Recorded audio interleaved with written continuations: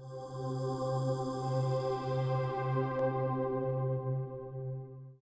Hi, this is Cristine Kao. I'm the uh, Global Marketing Manager for Vue Solutions for Carestream Health.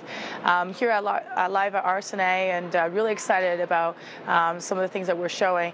Before I do that, I want to just quickly summarize, you know, 2011 has been a great year for us, um, especially, you know, when you look at the success we've had in our cloud services, uh, really showing a proven platform for uh, vendor neutral archiving in the cloud and also now PACS in the cloud.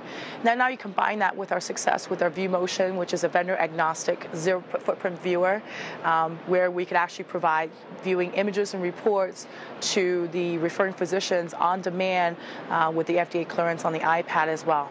So you take a look at the cloud infrastructure at the back end with the Vue Motion at the front end.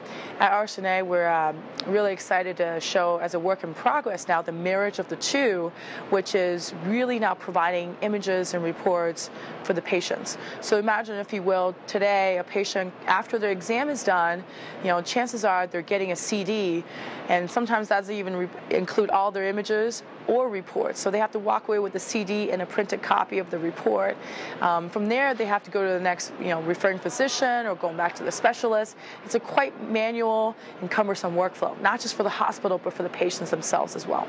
So if you look at the demand in the industry, you know, where we really want to en- engage the patients in a much more positive way and a positive experience, I think now with the Being vendor agnostic and very intuitive to use, um, we've launched this MyVue portal leveraging the cloud at the back end. So now patients, rather than getting a CD or DVD, can log on securely like they would with a bank account and access their images and reports at the same time.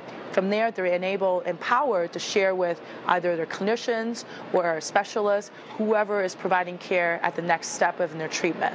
So we're quite excited about that because, you know, for the first time, Carestream has been well known within the hospitals, in front of the clinicians, and in front of radiologists. For the first time ever, we're now in front of our patients as well. So uh, we believe that this is going to provide significant um, advantage uh, for our customers, which is the hospitals, because they're now providing better patient service, potentially reducing extra duplicate exams, because again, image sharing and image exchange is on demand, and now providing services for our patients as well. So we're quite excited about that, and you'll see more about it in 2012. But uh, um, that's been a very positive. Um, uh, it's been a very positive show for us at RSNA.